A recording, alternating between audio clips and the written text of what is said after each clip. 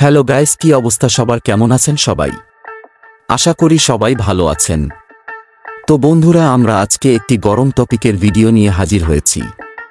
আপনারা ইতিমধ্যে জেনে গেছেন আর এস ফাহিম ও মানজিয়া বিয়ে নতুন করে বিয়ের অনুষ্ঠান করেছে।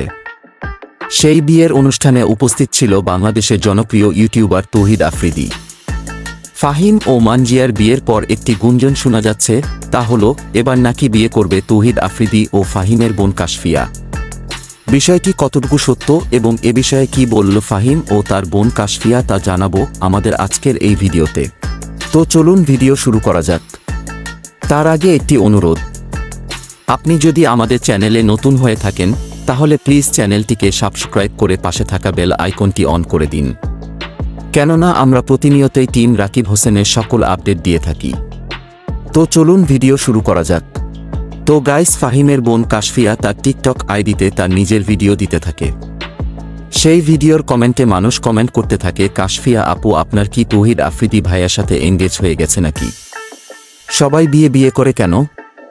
এই কমেন্টের রিপ্লাইয়ে মানজিয়া লিখে, এসব কিছুই না, মানুষ ফালতু কথাবার্তা বলতেছে। আফ্রিদি ভাইয়ার সাথে আমার কিছুই নেই। এছাড়াও মানুষ আফ্রিদি ও কাশফিয়াকে নিয়ে অনেক ভিডিও আপলোড করতে থাকে। এর মধ্যে একটি ভিডিও ফাহিমের চোখে পড়ে এবং সেই ভিডিওর কমেন্ট বক্সে কমেন্ট করে উল্টাপাল্টা ভিডিও বানাইলে আমার খারাপ কেউ হবে না। আমি ফ্যামিলি ম্যাটারে অনেক সিরিয়াস। Mind it. তো গাইজ, আমার মতে এটি সম্পূর্ণ গুজব এবং মানুষের এরকম গুজব ছড়ানো উচিত নয়। আপনার এই বিষয়ে মতামত কি তা কমেন্টে জানাতে পারেন। ধন্যবাদ।